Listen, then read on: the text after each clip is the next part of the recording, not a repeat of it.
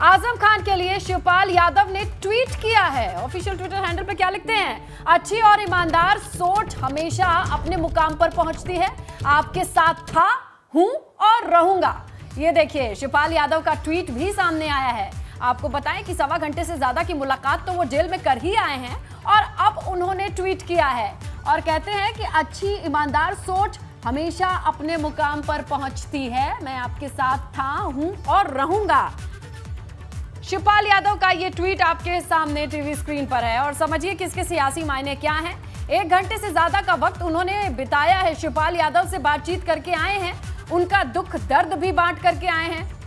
आज़म का दुख दर्द बांटने के बाद और अब जबकि ईद के मौके पर माना यह जा रहा है कि वो संभवतः जेल में ही रहने वाले हैं। तो ऐसे में उनके लिए ये ट्वीट किया है। शिवपाल यादव ने